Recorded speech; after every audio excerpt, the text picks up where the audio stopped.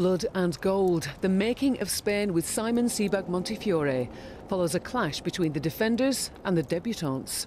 In a change to the billed schedule now on BBC4, live coverage of England versus Spain in the SheBelieves Cup.